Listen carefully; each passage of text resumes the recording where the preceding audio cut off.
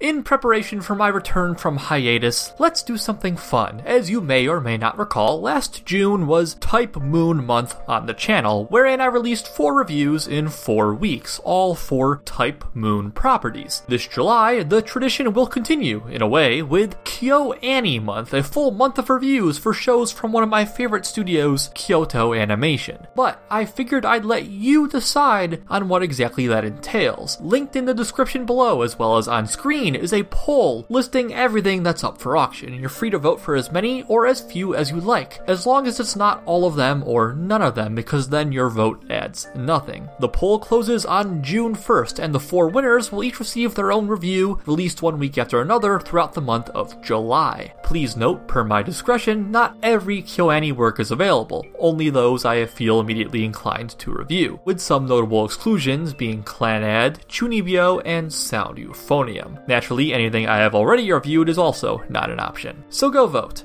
Thank you for sticking around through this hiatus, and I'll see you next time.